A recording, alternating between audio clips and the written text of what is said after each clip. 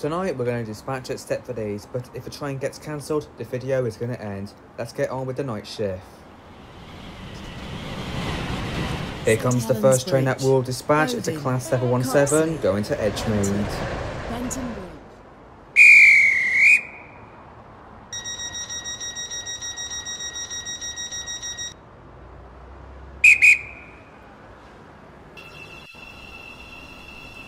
So we just dispatched that Class 717 now heading on its way towards Edgemead and we're now going to dispatch this next train which is a Class 170 going to Port Your Bend. Oh, damn it.